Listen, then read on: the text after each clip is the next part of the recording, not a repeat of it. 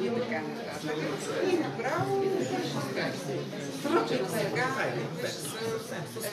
една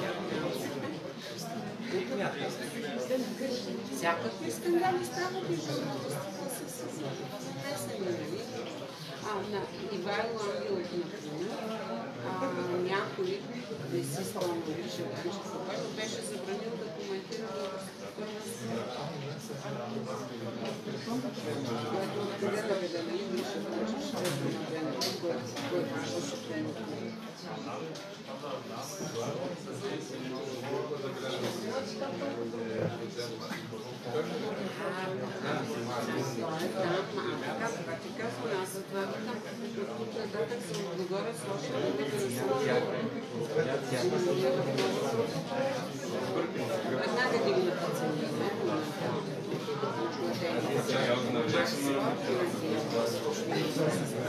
Ще един повече.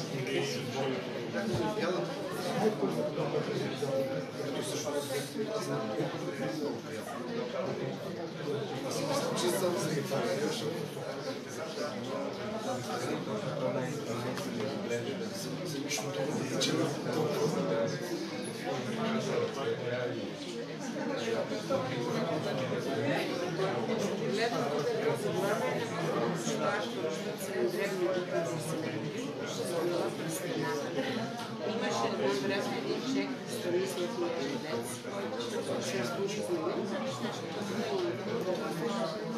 Уважаеми колеги, добър вечер. Все още е ден, но изглежда като при вечер. Казвам се Ясен Захариев и имам удоволствието да водя днешното представяне и дискусията, която ни е събрала тук във връзка с книгата на доцент Бурова Обяснение, разбиране и извод. Позволете ми първо да ви представя хората, които стоим от тази страна на масата. Разбира се, до мен е доцент Лилия Бурова, авторът на книгата. До нея е доцент Константин Янакиев от Софийския университет и професор доктор Христо Тодоров. Аз ще съм водещ на дискусията, поне в следващия един час. Ако нашата дискусия и представяне продължи повече от този един час, водещ ще бъде професор Тодоров, тъй като ако не направим тази смяна, едно 4 годишно дете ще извади съвсем правилен извод за баща си, макар и зад него да не стои научно обяснение. А, това е третата монография на доцент Гурова. Първите две са написани в края на 80-те години. Едната е посветена на а, ролята на проблемите, другата е а, искам да кажа специално няколко думи за нея, тъй като тя е и повод да се запозная с доцент Гурова задочно. Това е една монография в съавторство с Димитър Цацов, озаглавена психологиз... дебата психологизъм, където основна роля играе моят любим български философ Димитър Михалчев. Тази трета монография на Лиди Бурова е представителна от гледна точка на нещо, което ми се струва важно да кажа в самото начало, а именно тези от вас, които не знаят, които не познават доцент Гурова от дълго време, както я познавам аз, би било добре да им бъде съобщено, че доцент Гурова от дълго време, тя е философ, макар че е в департамента по когнитивна наука и психология, тя от дълго време а, можем съвсем коректно, според мен, и обобщено да кажем, че се занимава с две основни неща. Едното е философия на науката, а другото е в една много голяма област, начинът по който се занимава с философия на науката, е именно а, тази област или традиция или течение на аналитичната философия, изключително мощно, можем да кажем най-мощното направление в философията от началото на 20 век, може би до момента. А, това, което Лили Гурова е написала, поне според мен, след моя прочит е изцяло в тази традиция, като най-прекрасното е, че тя взима и доста критично отношение към нея. А, няма да влизам в детайли а, относно тезите в текста, бих искал само да представя основния проблем. Основният проблем е гигантски за философията. Той съществува още откакто философия съществува и това е, разбира се, въпросът за разбирането. Въпросът за познанието, как разбираме себе си и света около нас. А, разбира се, основният инструмент, и това е посочено още в самото начало на монографията на Лили Гурова, ние можем, разбира се, да разбираме спонтанно и ние разбираме спонтанно всякакви неща в своето ежедневие, но хората, философите, учените са разработили специални инструменти за разбиране, специални инструменти за познание. Един голям философ на новото време ги нарича машини за мислене, за познание – и един такъв специфичен инструмент или машина за разбиране е обяснението. А, това, което занимава Лили Бурова е специфично научното обяснение и научното разбиране. Тоест не трябва да очакваме и тук някакси публиката е добре да знае, че тук не се занимаваме с разбирането изобщо, а, а се занимаваме с разбирането в сферата на науката, занимаваме се с обяснението в сферата на науката. Основният проблем, който Лили си поставя е следният. А, какво прави едно научно обяснение добро или лошо? Обяснението е тема на философски анализ, поне от времето на Аристотел, като основната сила на философите, поне традиционно, е била съсредоточена в структурата на обяснението, в структурата на дефиницията как трябва да бъде построена една правилна дефиниция, на какви условия трябва да отговарят термините, какво трябва да изпълняват, за да не са кръгови, за да са успешни и така нататък. В тази а, далечна и сериозна традиция Лили Гурова не е, или поне тя иска да стъпи в страни и да а, разгледа един альтернативен модел, подход към обяснението, а именно Научното обяснение не с оглед на неговата структура, а с оглед на неговия резултат. И всъщност критерият или начинът по който можем да направим разлика между добро и лошо научно обяснение не е когато анализираме структурата му, а когато анализираме неговият резултат. Затова и книгата се казва Обяснение, разбиране и извод. Когато я четох за първи път, някакси за себе си стигнах до много кратка формулировка на а, един от опитите на Лили Гурова в тази а, книга. Какви са обясненията, ще познаете по изводите, които следват от тях. А, това е този така наречен инференциалистки подход, който Лили Гурова защитава, за който подход аз не искам да говоря, тъй като това а, моята роля е да бъда все пак водещ, а не коментатор. Затова си позволявам, ако желая да влезе в по-голяма дълбочина относно този проблем и други, разбира се, на професор а, Христо Тодоров, на когото и давам думата. Благодаря. Сега, да, нека започнем от това. Защо е важно да знаем кое е добро обяснение? Важно е, защото в сферата на научното познание, всички знаят това, ние се движим в едно поле от много възможни обяснения.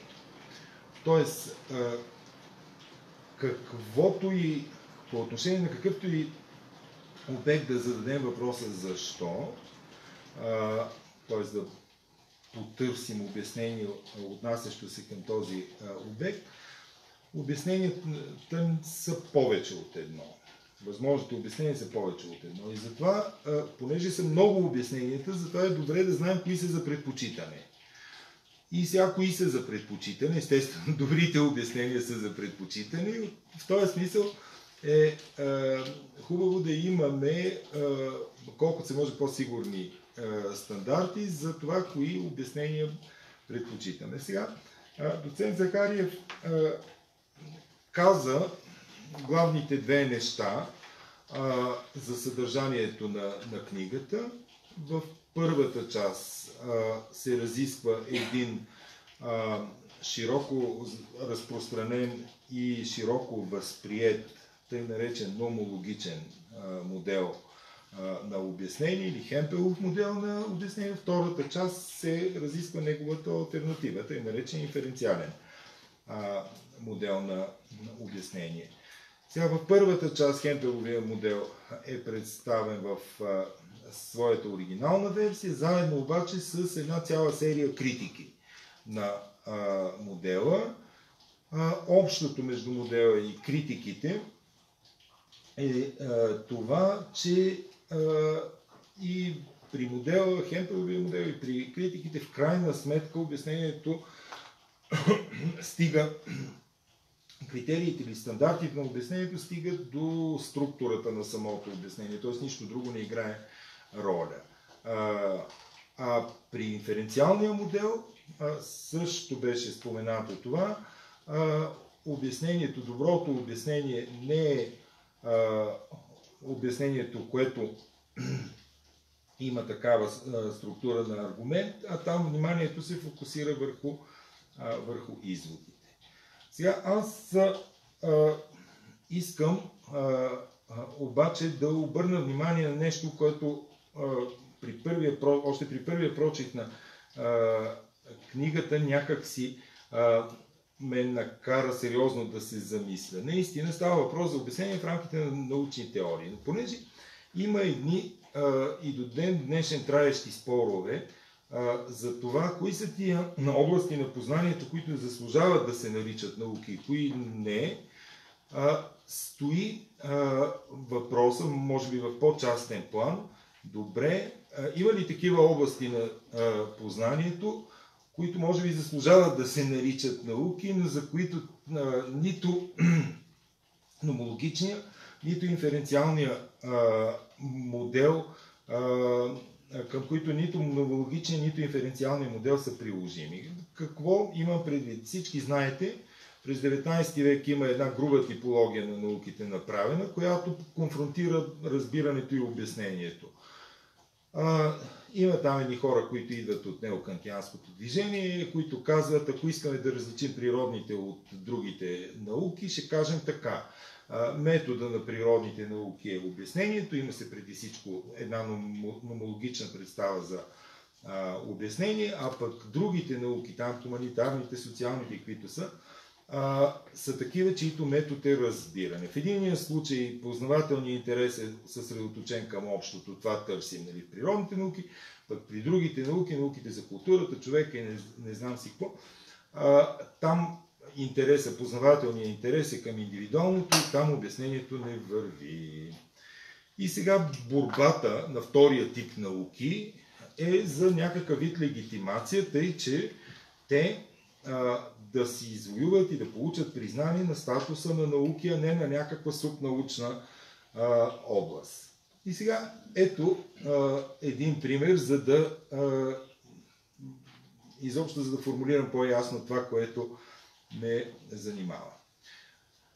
Преди 20 на години бях попаднал на една малка статия на Херман Любе. Това е един не много популярен, но все пак и не неизвестен германски философ, който на младини се бил изкусил човека и известно време участвал в политиката, бил известно време а, министър на образованието в Ланда Северен Рейн, Вестфалия.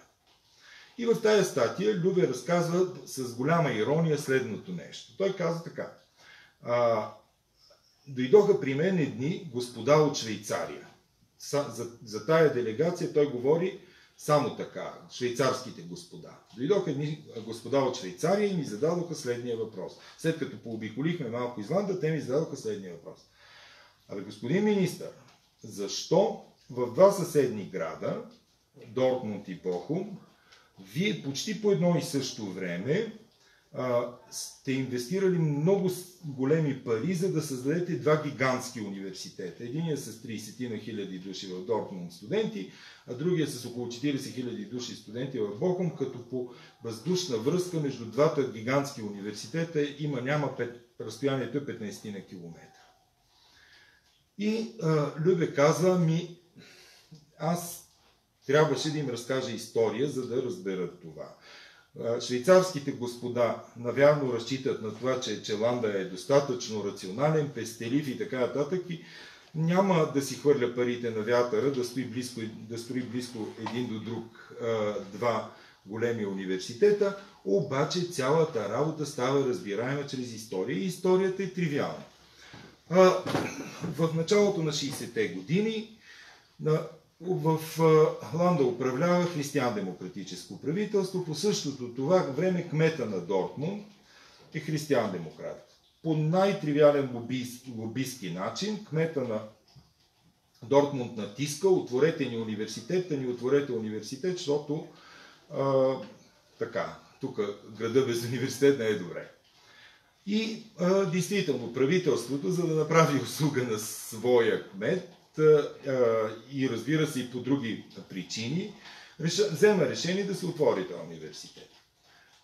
Година и половина-две по-късно правителството в, в Ланда се сменя, идват социал-демократи на власт и тогава кмета на Бохум, който пък е социал-демократ, върши точно същото упражнение, каквото при, малко по-рано е направил кмета на Дортмунд.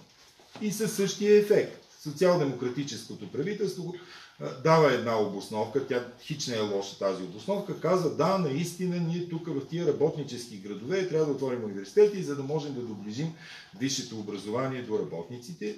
Речено, сторено и така възникна Рурския университет. И сега цялата работа е тази, че ако тръгнете а, това, което швейцарските господа са търсили, да а, обяснявате а, този факт от общо правило, от правилата на управлението, финансирането и така нататък, до никъде няма да стигнете. Просто трябва да разкажете това как това нещо действително се е случило. Та, а, за мен а, книгата на Лили, която има а, абсолютно несъмнени до, достоинства. Тя е работена дълго време. Който е надзърнал в тая книга, вижда колко е изпипана работата. А, за мен да, да, тази книга ми дава а, тласък към мислене в тая посока. Хубаво, а с тези наративни обяснения те къде ще попаднат, имат ли право на съществуване, как стоят спрямо другите два модела, номологичен и инференциален и така нататък. Най-хубави са уния книги, които карат а, а, читателите да отидат отвъд тяхното съдържание. За мен тая книга е хубава, защото ме прати да мисля за нещо, което бях позабравил да, да мисля и затова съм благодарен на автор. Много ви благодаря, професор Тодоров. Колеги, казвам само, че а, така съм преценил да протече нашата среща. Първо ще дам думата на хората, които сме поканили и след това ще отворя за дискусии и за въпроси. Така че ако имате такива, записвайте си ги и бъдете търпеливи. Сега имам удоволствието да ви представя доцент Янакиев. Заповядайте, публиката е ваша. Благодаря. Ами аз благодаря на говорилите преди мен, които всъщност представиха основната идея на книгата. Вярно и аз имах намерение да направя нещо такова. Сега мога да си го спестя може би малко нещо да добавя към това за основната идея. То може би вече стана ясно. Не става дума чисто и просто за някаква технология на оценка на обяснението. Въпреки, че е, Лилия не си поставя за цел да даде определение за обяснение, на мен ми се струва, че от нейната книга става ясно какво е обяснението.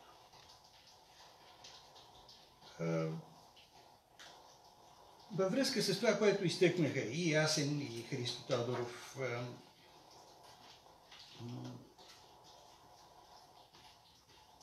Лилия не характеризира обяснението с това, което е вътре в него. Така както не бихме могли да характеризираме един уред, един телевизор, примерно, с това, което е вътре в телевизора. Вътре в телевизора може да има различни неща. Може да има лампи, може да има микросхеми, може да има е, електронно лъчева тръба, може да има LCD дисплей. Но телевизора се характеризира всъщност с това, което прави телевизора и обяснението се характеризира с е, това, което прави обяснението, а именно то създава разбиране. И основното, иде... основното разсъждение е, в тази е, книга е, може да се представи много кратко. То е много ясно, няма нужда човек да, да се чуди къде да го търси в книгата. То е дадено още в предговора и след това на видно място в, централната, в централния раздел.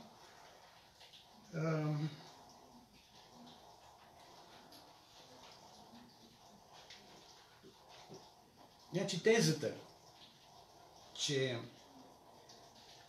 от обяснението ние искаме да ни дава възможност да правим изводи, е, се обосновава съвсем кратичко с е, това, че от обяснението е, ние искаме да ни дава разбиране.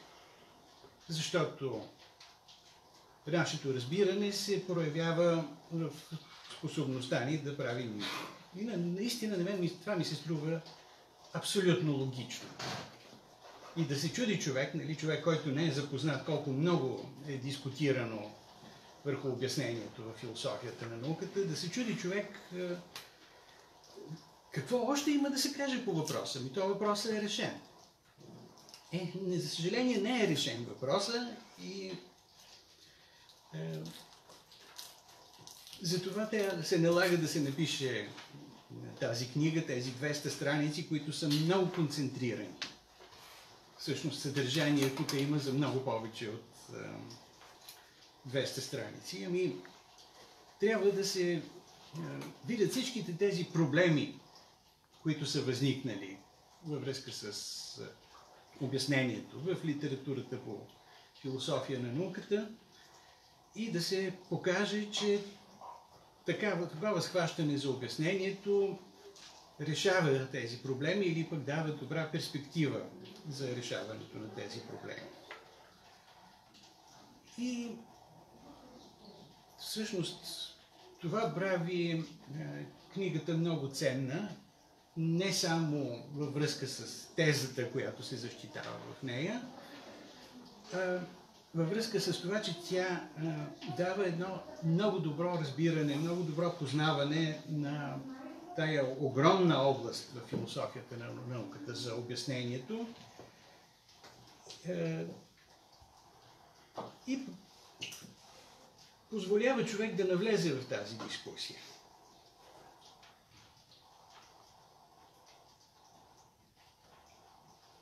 Лилия е свършила огромна работа за нас. Не е лошо ние да се възползваме от тази работа, която е свършена. Първо едно голямо изследване на, на, на една маса литература по темата. Второ, една класификаторска работа е свършена. Позициите са подредени.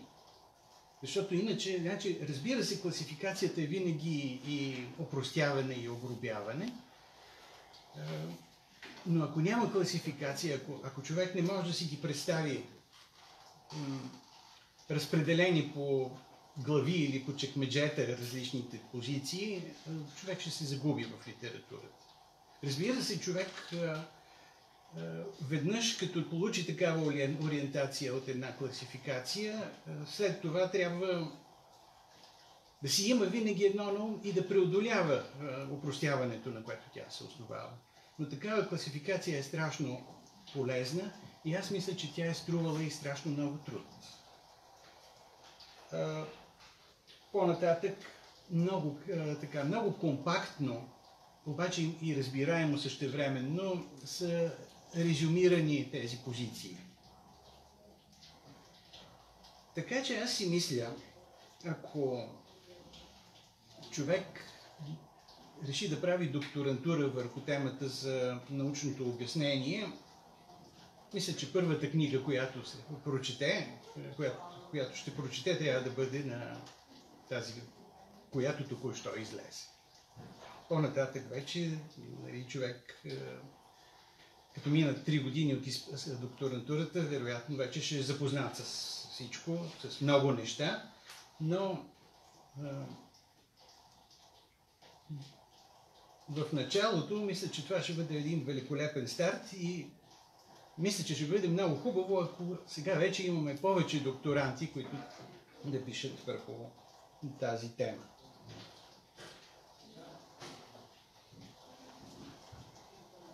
Ами, освен това, искам да посъветвам всички присъстващи да си купят книгата, не само да я прочетат, а да си я купят.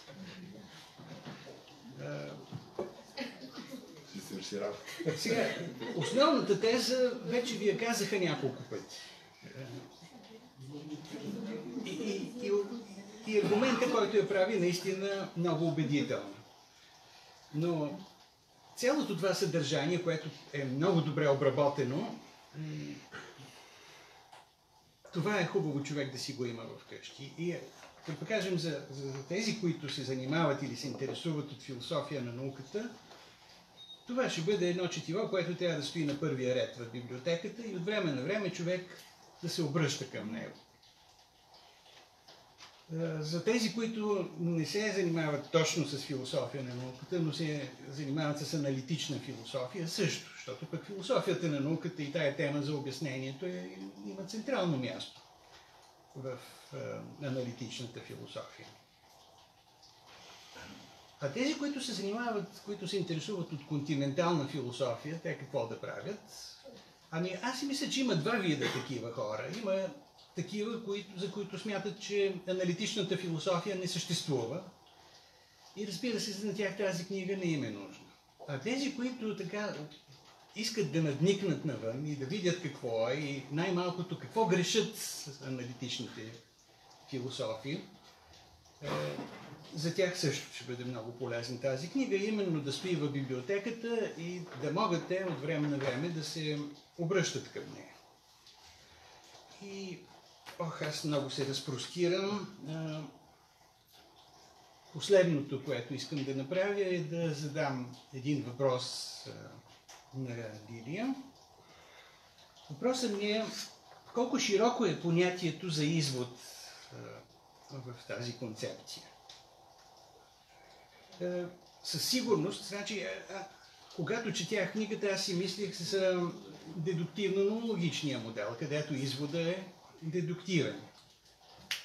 А, давах си сметка обаче, че да кажем вероятностни изводи също могат да, да се причислят към изводите тук. На предварителното обсъждане зададох един въпрос на Лилия, ако добре си спомням. Ами имаме, да кажем, едно уравнение. Имаме някакви параметри, тях ги получаваме от измерване или по теоретичен начин и решаваме уравнението, намираме хикс, който е, е някаква също измерена стойност. И по този начин обясняваме защо става стойността, защо тази измерена стойност е, е хикс. А, решаването на едно уравнение може ли да бъде извод? На мен ми се струва, че може, според тази концепция. А, нека да дам един пример, който на мен лично ми е забавен, дано да е забавен и на присъстващите.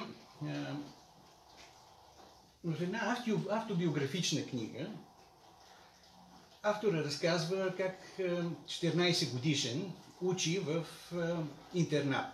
И вечерта момчетата са в общата стая, в интерната. И един приятел му предлага да му заеме порнографско списание. И момчето казва ми, добре, може да го погледна по-късно. След малко казва, ох, приспа ми се, аз отивам да си лягам. Прозява се за всеки случай. Взима си списанието и изчезва. И естествено всички присъстващи са си направили извод дали той отива да си ляга. И присъстващите тук също си направиха извод. Но що за извод е това? Да се върнем все пак към логиката. По коя фигура, по кой модус? От пропозиционалната логика ли? От предикатната ли? Това е извод ли? е?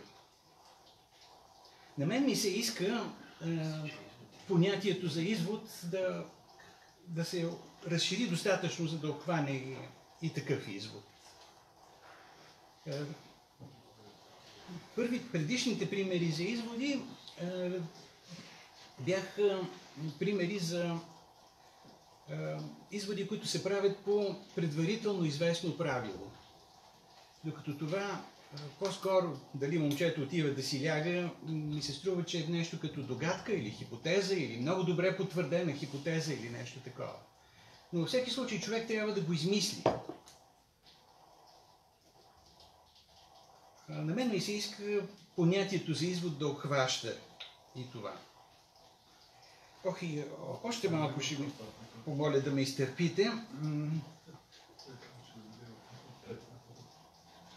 Мисля, че това, което философите на науката тълкуват като дедуктивни изводи, по модус поненс или по модус толенс, извежда от теория, извеждаме наблюдаемо следствие. Мисля, че това всъщност не е дедукция. А че това също са такива изводи, които не могат да се направят въз основа на правило. И аз съм си намислил един пример от системата на Коперник. Може да се изведе следствието, че за неподвижните звезди трябва да се наблюдава паралакс. Може би всички със- присъстващи са осведомени, но за всеки случай ще кажа, тъй като Земята се върти около Слънцето, когато тя се намира в една точка и ние наблюдаваме една звезда, примерно там, ние я гледаме в тази посока. Когато обаче Земята се намира от другата страна на Слънцето, вече посоката, в която поглеждаме към нея, е друга.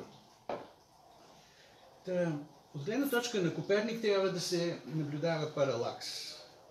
Само, че е, не е толкова просто. Ние дедуцираме извода, че трябва да има паралакс, наблюдаваме и съответно не намираме или не намираме паралакс. Всъщност трябва да се конструират съответни инструменти, трябва да се, тря- трябва да се създаде някаква техника на наблюдение, трябва да се наблюдава при точно определени обстоятелства, така че при живе на Коперник паралакс не е наблюдаван.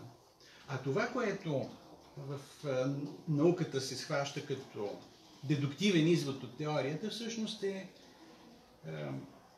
измисляне на експеримент, в който ние да получим някакъв желан ефект. Така че няма правило. Аз мисля, че и тук няма правило. Когато ние, както се изразяват, проверяваме една теория, това не е въз основа на правило. И тогава а, ми се струва, че извода няма да е чисто синтактично понятие, а ще бъде прагматично понятие. Това, което наричаме извеждане, примерно, на паралакс от системата на Коперник, това е да получим идеята за някакво наблюдение и да,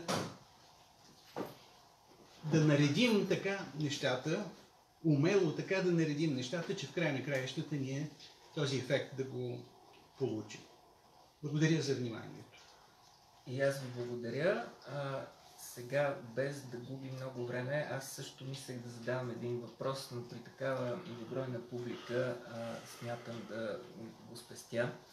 А, позволявам си да дам а, думата на автора на книгата, а, като ще я помоля да не започне веднага с отговарянето на въпросите, а, по-скоро, защото имаме вече въпрос, а по-скоро да изчакаме след едно кратко експозе да се съберат такива от публиката. Заповядайте. Благодаря ви. Ами, благодаря. А, добре, ще се съобразя с препоръката. Аз така или иначе мислех да не започна с въпросите, а да започна с благодарностите, защото на твърде много хора, всъщност аз дължа книгата да се появи и то в този вид. Което разбира се не означава, че тези хора ги държа отговорни за евентуални пропуски и грешки. Ако има такива, те са си мои. Не мога да ги избе... спомена всички тези хора поименно, но всъщност искам на групи, ще кажа. Колегите, с които съм работила, първо в Института за философски изследвания на БАН, след това тук в Нов Български университет, Департамента по когнитивна наука и психология, въпреки че те не са философи, но така неизходително доброжелателно се отнасяха към, да, към моите философски занимания и моето философско участие в техните си научни дискусии. Но аз съм им ужасно много благодарна, защото ако някой от тях прочете внимателно книгата, ще види, че белези от тези дискусии съществуват. Те могат да бъдат лесно разпознати. Наистина, без тези дискусии книгата не би била това, което е. Специално искам да благодаря на издателството на Нов Български университет и особено на екипа, който работи върху книгата и направи така тя да изглежда по преценката на много, включително и моята преценка, доста добре. На Влади Маринов благодаря специално за езиковата редакция, на Жанет Цанова за предпечата и за дизайна на корицата, който тя го направи по мои много мъгляви идеи но общо взето професионалния почерк на един дизайнер си казва думата. Искам да благодаря на Центъра за книгата за организирането на тази дискусия. Сега като ви гледам всички вас, аз си мисля, че ако не беше организирано това събитие, всички вие едва ли по случайен път бихте се срещнали някога. Тоест, това се случи благодарение на организирането на това представяне на моята книга и разбира се, ще завърша с благодарност на всички вас, които в това време, нали, в този проливен дъжд, избрахте да сте тук, вместо на друго място да правите по-интересни или по-важни за вас неща. Наистина го оценявам. Благодаря ви най-сърдечно. И сега след този малко дълъг увод от благодарности ми се иска да кажа няколко думи за книгата. Винаги е интересно, по-интересно да слушаш, да слушаш другите, когато говорят за твоята книга, давам си сметка за нещо, което съм го чела много пъти, казвано от умни хора, че книгите веднъж написани си живеят свой самостоятелен живот. Авторът няма власт над това, как те ще бъдат разбрани или оценени. И сега наблюдавам как, което ми беше интересно, как хората виждат неща, които вероятно за мен не са били а, първостепенна причина да ги напиша по начина, по който съм ги написала. Аз бих искала да кажа нещо не толкова за самата история на книгата, която съм я разказала накратко в предговора. Искам да разкажа нещо, което го няма в книгата, включително и в предговора, което в някакъв смисъл ме е държало през годините да не се отказвам от нея, от писането, защото продължи около 10 години, което е твърде много време.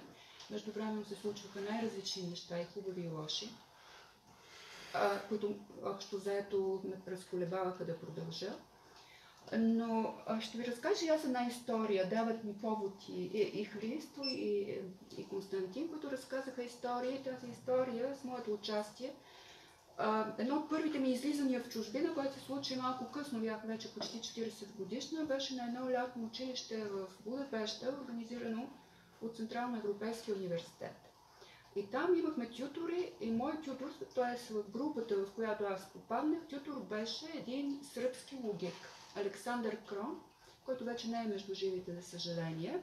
Но той е забележителен и с това, че освен, че беше много добър логик, т.е. преподаваше в университета в Белград не само елементарна, но и advanced logic, както се казва, и беше способен с логически средства да анализира стихотворение на Томас Елиот, т.е. да анализира поезия и да обяснява смисъла заложен в поезията с логически средства, но той беше интересен и с това, че едновременно четеше логика в университета, но четеше и лекции върху Хайдегер, което в България трудно може да се случи. А, наистина Константин намекна за това разделение, което поначало, и не само в България, в Западна Европа вероятно трудно ще се случи, един и същи философ да чете тези два доста различни типа лекции. Това очудено очудвало много хора, защото той ни разказа тогава следната история за негова студентка. Някаква студентка, която решила очевидно да го впечатли, се приближава към него и му казва как такъв очарователен, талантлив и толкова знаеш и с широка култура човек, следва една дълга тирада от комплименти, преподава такова скучно нещо като логика. И отговора на Александър Крон е съвсем кратък. На, той на нас ни го казва на английски, не знам как е прозвучал на сръбски. For ethical reasons. Т.е. по етични съображения. Разбира се, ние всички бяхме шокирани от този отговор. Той не става очевиден веднага, затова той ни предложи следното обяснение. Обяснението е следното. Много често хората правят неща, които са неприемливи или ние ги оценяваме като лоши или направо като зло. Не защото те са зли или са имали зли намерения, а защото не са направили правилните изводи и не защото са некомпетентни в своята област, в която те работят. А защото в някакъв момент те са направили неправилните изводи от информацията, с която са разполагали. Затова, той това казва, за етични, от етични съображения трябва да се преподава логика. Сега съвсем друг е въпросът, дали това, че се изкарал университетски курс по логика, ще направи по-добър човек. Нали, това е с една съвсем различна дискусия. Но това ми е останало в главата и аз много често се сещах за тази мисъл. Тя се оказа и не чак толкова оригинална, защото подобно изказване може да се прочете и у Ръсъл още в началото на 20 век, че общо взето ние можем да влияем върху мисленето на хората или върху техния морал, но тези неща всъщност, без да си даваме сметка за това, са силно свързани. Тоест, ние, ние не можем целенасочено да променяме морала, без да влияем върху мисленето, като той под мислене, образец на добро мислене, разбира логичното мислене. Е, аз малко... А, моята мотивация е някакъв вид обобщение на това, което каза Крон и което може да открием в модифициран вид при Ръсел. А, според мен, някой път хората правят неща, т.е. правят грешки, не защото не знаят, не защото са били злонамерени, т.е. правят зли неща, не защото са зли или са имали зли намерения, защото не са направили грешните изводи, т.е. Въпреки, че имат усещането, че разбират ситуацията, това тяхно разбиране е фалшиво и въз основа на него те правят недобри изводи. Последното, което ме накара да се замисля върху това и така ще направя връзка и с наративите, за които спомена Христо, не случайно ние толкова обичаме да разказваме истории и да слушаме истории. Съвсем не е случайно, че една добре разказана история може да повлияе много повече хората, мисленето на хората, тяхното разбиране за света, от всякакви научни аналитични текстове. И последния пример, който искам да спомена само, е филмът Чернобил, който беше един не чисто лингвистичен наратив, но истински добър наратив – който носи със себе си разбиране, което човек не би могъл да получи, ако просто чете сухите документи, възоснова на което е направен този филм. А, сега други е въпроса, какви изводи, това, което беше забавно, защото аз в някакъв момент бях обсебена от филма и от всички коментари върху него, дори си зарязах тук студентите да не ме цитират, да, че някои есета обикновено, които проверявам по-бързо, ги проверих по-бавно по тези причини. А, нали, моля си извинения, но за което, не чувствам се виновна, вярно е. Но тогава видях и нещо друго, на което, с което всъщност искам да завърша, което пак е свързано с книгата. Значи, прочетох много коментари, и български в нашата среда, и руски, и английски. Обичам да чета различни хора. Как виждат едно и също нещо. Те правят различни изводи. Всеки е видял различни неща. Не мога да кажа, че тези изводи не са коректни, но това ме навежда на следния проблем, че до изкривено разбиране на дадена ситуация можем да достигнем не само когато правим неправилни изводи, а когато правим само някои правилни изводи и потискаме голям брой други правилни изводи, които всъщност а истински добро разбиране а, според и тази концепция, която аз опитвам да представя, симптом за истински добро разбиране, когато можем да направим колкото се може повече коректни изводи, т.е. и възходи, чието заключения са верни. Та, може би, за да завърша и за ще, на въпросите да отговарям, след като се съберат всички въпроси, Молбата ми е такава, с оглед на Добре. опита, който Okay. показва, че често пъти различни въпроси могат да се обобщят с един Добре. отговор. А, затова много ви благодаря. А, аз ще... искам още нещо да кажа. обаче. Разбира се. Така. Разбира се. А, ами, който пак не е свър- свързано с съвсем нещо, да направя преход и към философията. Значи, за съжаление, Аз все пак това съвсем добронамерено го казвам, тъй като дълго време съм работила в департамент от нефилософии. За съжаление, думата философия в България се е превърна в пеjoративно понятие. Не случайно българската култура има такъв израз дърна философ, който точно значи, подобни означаващи неща има и в други езици, но не използват думата философ вътре. Български обаче е така. Аз се опитвам да в светлината на тази концепция да си обясна защо това е така. Да, има една тривиална причина, поради това, че философията е използвана по един или друг начин в различни периоди. Това, между другото, продължава и сега. Но си мисля, че тук виждам един човек, който написа книга върху това различните концепции за философия, срещу себе си, Венци Кулов. А, мисля, че ако се обединим към едно автентично понятие за философия, най-старото, че тя е любов към мъдростта, а любовта към мъдростта е преведена като любов към разбирането.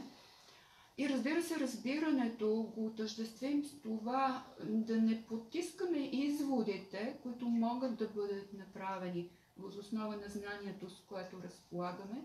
Мисля, че има още бъдеще за философията и ако философите не изневеряват всъщност на това да носят разбиране за света.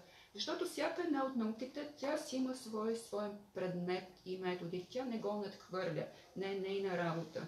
Но светът не е подреден е, по чекмеджета, проблемите не са подредени по чекмеджета, има проблеми и въпроси, на които за да отговорим, ние трябва да отидем отвъд границите на всяка една наука.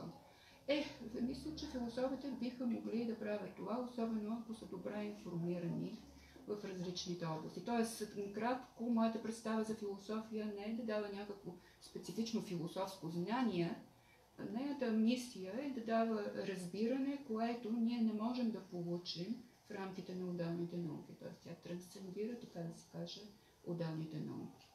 Но трябва и да се култивират съответните навици за правене на извод, защото, както Платон е казал, в много неща се съмнявам и във всичко се съмнявам, но в едно съм абсолютно убеден, че има разлика между знание и истинно мнение – аз по същия начин мога да кажа, вероятно има много неточни неща в моята книга. От много неща съм готова да се откажа, но това, че между разбиране и извод, способността да правим изводи има връзка, от това мисля, че не бих се отказала в близките години.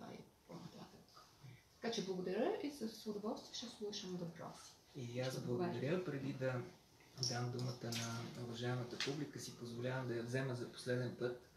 А, направи ми впечатление това, което професор Тодоров каза във връзка с историите, направи ми впечатление и това, което доцент Янакиев каза във връзка с, така да се каже, а, границите на понятието за извод, подчертавайки на няколко пъти, че няма правило. А, искам само да кажа, че цялата книга носи а, един или повече рискове в разбирането. От гледна точка на какво? Често пъти се споменаваше правилни и неправилни изводи. Когато говорим за правилни и неправилни изводи, ние сме на съвсем сигурна почва, тогава когато сме в полето на формалната логика. Там може да се изчисли съвсем ясно кое е правилно и кое е неправилно като извод.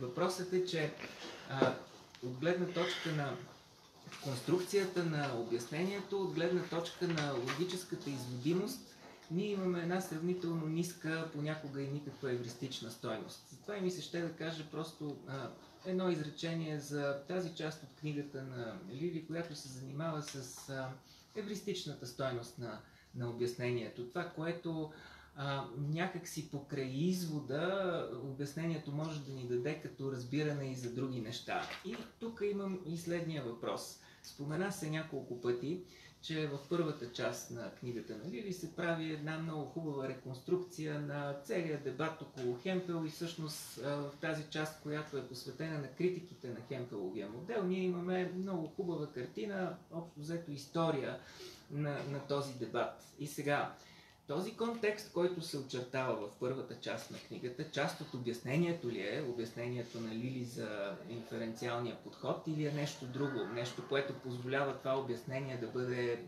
да си направим по-добри изводи от него. И без тази част на книгата, без този контекст, обяснението щеше ли да бъде толкова добро? Това е моят въпрос. А, благодаря на всички, които говореха и сега, уважаеми колеги, заповядайте, а, ваш ред е.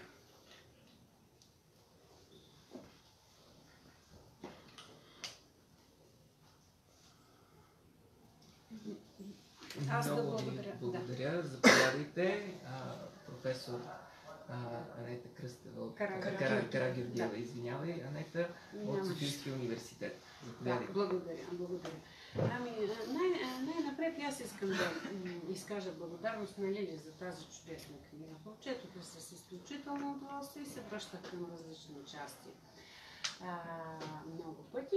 И искам да задам един а, въпрос. Дали Лили а, смята, че а, единственото, ако използвам а, формулировката на доцент Константин Янакиев, единственото нещо, което обяснението е призвано да прави, е да дава разбиране. Или то прави още и други неща. Добре, благодаря. Други въпроси, колеги? Коментари? Забележки?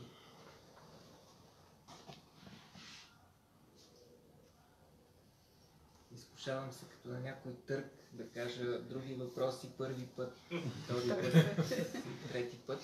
А, при това положение, ако няма, ще дам думата на Лили. Разбира се, в процеса на отговаряне могат да възникнат други въпроси, уточнения и коментари, за които моля да бъдете така а, свободни да изразите. Така, аз благодаря за въпросите. Ще започнем да отговарям отзад напред, защото така ми е по-лесно. Значи ще започна с въпроса на Анета. Обясненията изпълняват ли други функции? Да, краткият отговор е да. Не само да ни носят разбиране, и това даже сигурно някъде съм го споменала в книгата, сега не мога веднага да кажа точно къде. За съжаление обаче, другите странични функции на обяснението не са толкова изследвани. Парадоксално е, че те повече се изследват от когнитивни психолози, които също се интересуват от обяснителните разсъждения. И те повече, те са тези, които обръщат внимание, че всъщност обясненията имат и други когнитивни функции, а не само да ни носят разбиране. Но това е това, което аз мятам за мой принос, поне не съм го виждала другаде, е, че аз се съмнявам, поне до сега не съм намерила добър контрпример, който да опровергава съмнението ми, че едно лошо обяснение, то в моя смисъл обяснение, което не носи разбиране, може да изпълнява успешно и другите си функции. Тоест евристичната функция, за която спомена и Ясен. Там в последната глава има разказани четири истории, преразказани от история на науката. И там се вижда, че всъщност евристичната роля, в повечето от тях се акцентира върху евристичната роля на обяснението. Тоест целта е, не е толкова директно заявена тези обяснения да носят разбиране, колкото да се получи някакво ново знание, разбира се, доколкото може да отделим тези две неща, което е друг голям дебат. А, и там се показва, че успешна евристична роля играят тези обяснения, които наистина ни позволяват да правим нови изводи. И преди да мина към най-мъчния въпрос, който е първия и който беше допълнен от ясен, за извода, за понятието извод и така как аз го използвам в тази книга, да отговоря на малко провокативния и според мен и риторичен въпрос на Ясен. Изпълнява ли част първа от книгата, тази, този разказ за Хемпеловия модел, неговите възприятия и неговите критики, част от на моето обяснение, така да се каже, на инференциалистския подход? Да, иначе нямаше да го включа. да, той не е самоцелен. Значи, действително той създава контекста.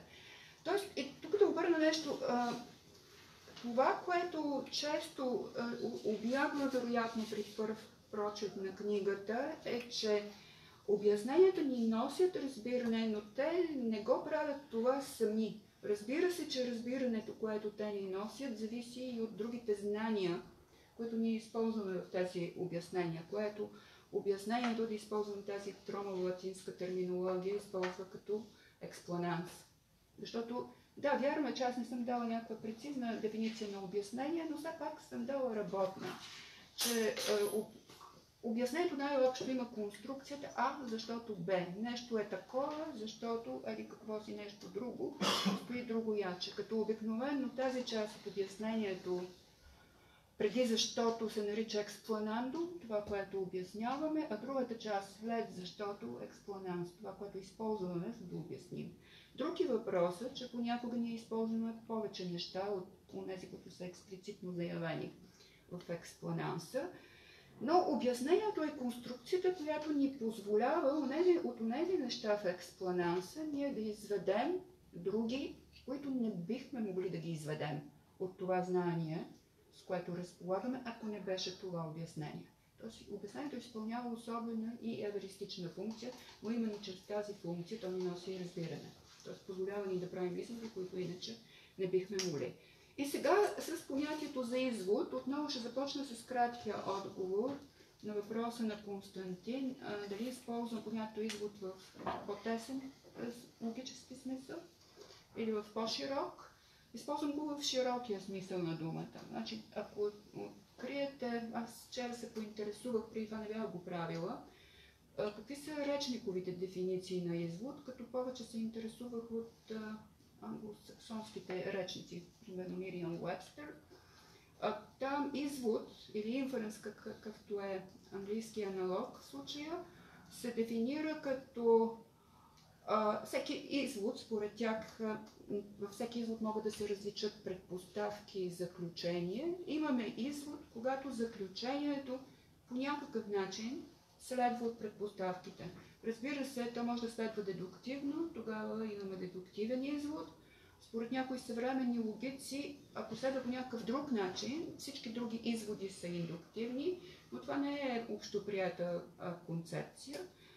Така че има хора, които в рамките на тази широка група различават аналогии, примерно изводи по аналогии, изводи, които са а, абдуктивни и всякакви други, статистически се споменаха, защото някои статистически изводи са дедуктивни, зависи всичко.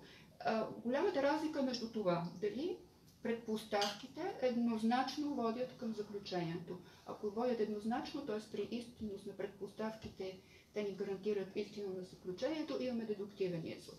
Ако предпоставките, дори когато са истинни, не ни гарантират истинност на заключението, но подсказват, че то може да е, но ня и забраняват, а подсказват, че то евентуално може да е истинно, а тогава имаме, логистите биха казали, групата, огромната шарена група на индуктивните изводи, но аз използвам извод точно в този широк смисъл. Извод е всяка конструкция, която, при която това, което наричаме предпоставка, представя като възможно това, което е в това, което наричаме заключение.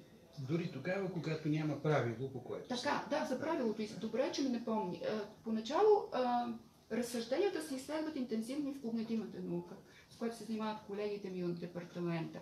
Там се обсъжда и доста интензивно това дали нашата способност да правим разсъждения, независимо дали дедуктивни или индуктивни, е защото в нас има някакви заложени правила, било вродени, било научени в хода на образованието. И трябва да ви кажа, че да, в началото, когато започва да се изследва този проблем, большинството е смятало и се опитвало да експлицира тези правила, но сега това е, тази позиция в никакъв случай не е доминираща. Оказва се, и с много примери, и контрапримери срещу модела, разчитащ на правила, че ние можем да правим извод и без да имаме експлицитни правила. Нещо повече, много логици смятат, че експлицирането на правила следва, не предхожда логическия извод. Ние първо сме се научили да разсъждаваме логично, след това сме създали науката логика, която експлицира правилата които ни позволяват да решим дали даден извод е примерно валиден, логичен, коректен или не. Да, съжалявам се си това да спомена и допълнението на ясен за използването на коректни и некоректни изводи. Очевидно не навсякъде съм правила достатъчно оговорки под черта.